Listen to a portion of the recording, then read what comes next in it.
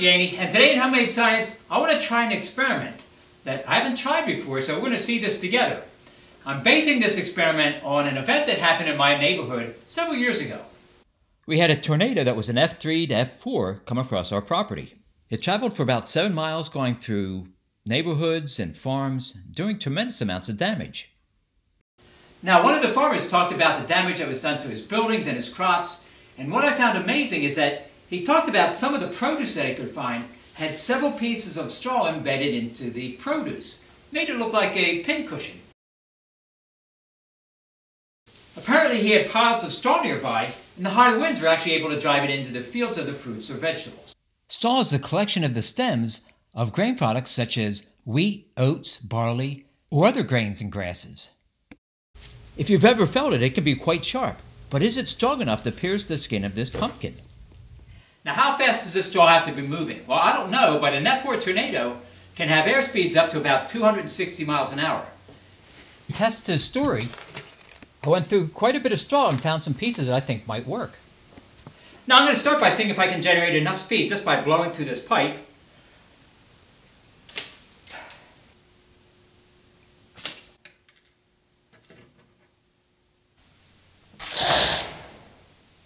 Well, the pumpkin didn't work, so let's try something really easy. See if we can get it through a sheet of newspaper.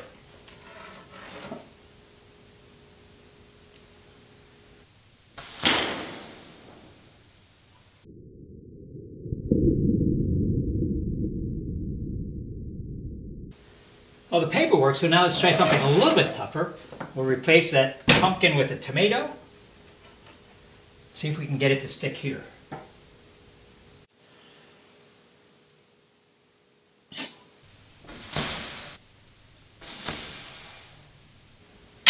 Well, so far we are able to slightly pierce tomatoes. How fast are the straws going? We can get a rough idea if we measure it against this speed strip.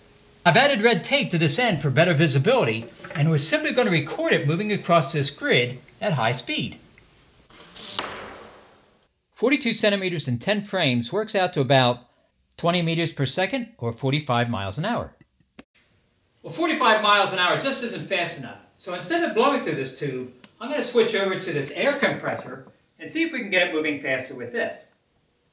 This is the controller that attaches to the supply line.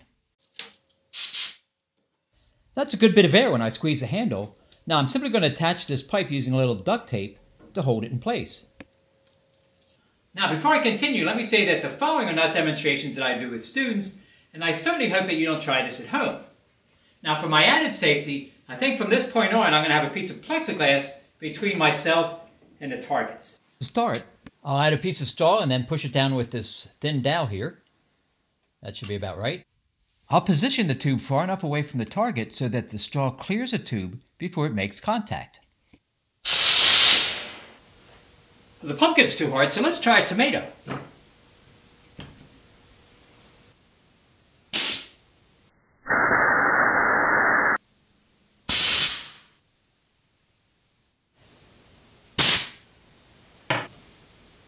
Well, the air compressor certainly worked a lot better.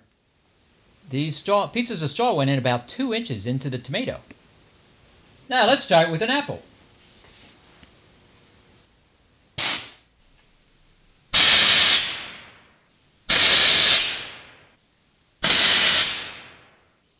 The apple's much tougher than the tomato is. I'm surprised how well that worked. Now here's something that's even harder. Let's try this melon.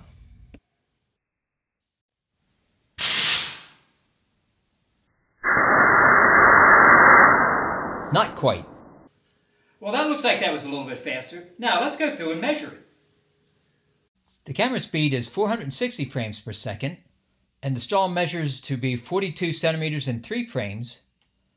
We work that out, it gives us a speed of about 67.2 meters per second, or 150 miles an hour. Now, my compressor's rated at about 90 psi, and that was enough to impale the apple or the tomato but it wasn't quite good enough for the pumpkin or the melon. So we're going to set it up once more. For these trials, I wanted to make a frame for the pipe that would hold it a bit more securely. My source of gas in this case is going to be this CO2 fire extinguisher. Now, liquid carbon dioxide pressurizes at about 850 psi. That's about 10 times higher than what we had with the air compressor. Now let's see how it does against this tomato.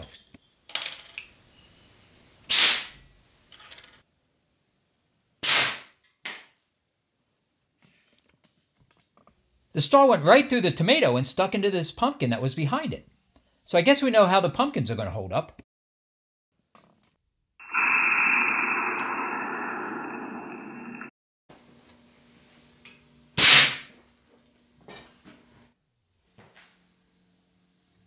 This time it went about half of the way through it.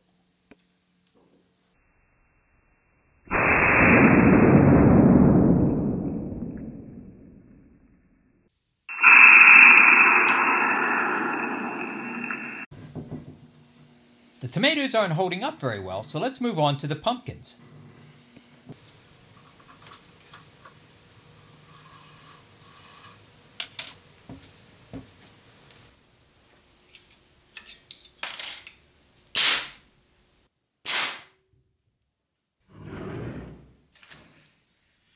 This worked very well. It's taking quite a bit of force to pull the straw out.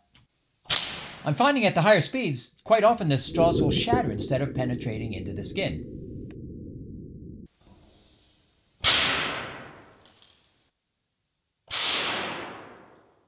Now I know the farmer wasn't growing pineapples, but let's see how a pineapple holds up.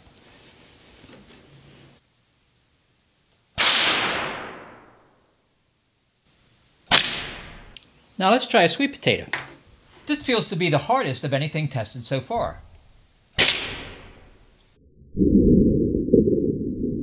With this setup, we can even penetrate the hard skin of this sweet potato. So once again, I want to go ahead and set up the speed strip, and we'll measure how fast the straw is going in this case. Due to the much higher speed, I now have to shoot at 960 frames per second. The measured speed works out to about 163 meters per second, or 365 miles an hour. That is faster than the winds of an F5 tornado. Now, going back to the farmer's original story, was it possible well, at 150 miles an hour, we did get some pretty good results. With higher speeds, the results were even more impressive. What do you think? Was it possible for the high winds of a tornado to embed straw into various fruits and vegetables?